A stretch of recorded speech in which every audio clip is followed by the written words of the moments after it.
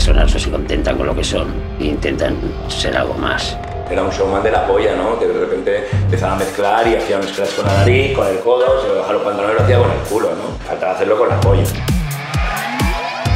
Fernando Discontrol es un DJ extraordinario. Él hizo que las cabezas de las personas cogieran una sola dirección, que el disjockey fuera el centro de atención de la sala. Y es ahí donde cambió todo. Des de la cabina de Nando emanava una fuerza. Y el Nando era, digamos, el DJ més vanguardista, més arriscat. Que consiguió que el DJ por fin se mereciera su sitio, que era el artista, ¿no? Que contratas. Él ha constituido una personalidad absoluta. Es un hijo de puta totalmente capaz de, de, de evadirse de su realidad. Está el- la persona y el personaje. Fernando Gallego es el continente y Discontrol el, el contenido.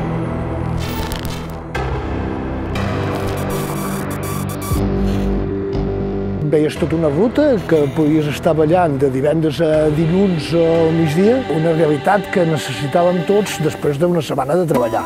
Que seamos marineros, el mundo es nuestro, el infierno sí existe y Dios, déjanos un poco de exilio, que son marineros. Pero no se puede estar toda la vida pensando en que tú estás en posesión de la verdad. Y en caso de que lo estés, de que todos van a creer en tu verdad. Está esclavizado con su propio personaje, es su propio personaje. Él se cree que tiene la capacidad de que una vez muerto la gente revalorice todo lo que ha hecho. Y realmente de qué le va a valer.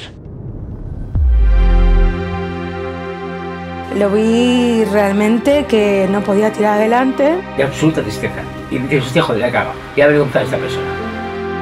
Tu desastre es la consecuencia directa de tu inoperancia. Y en un día de querer todo, pasas a tener nada.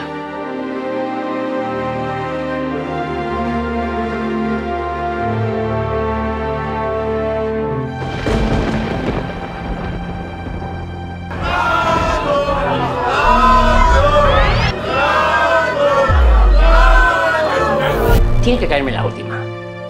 Tengo que jugar la última carta, que no la juego yo, la juega el destino. Destino, destino, destino, destino.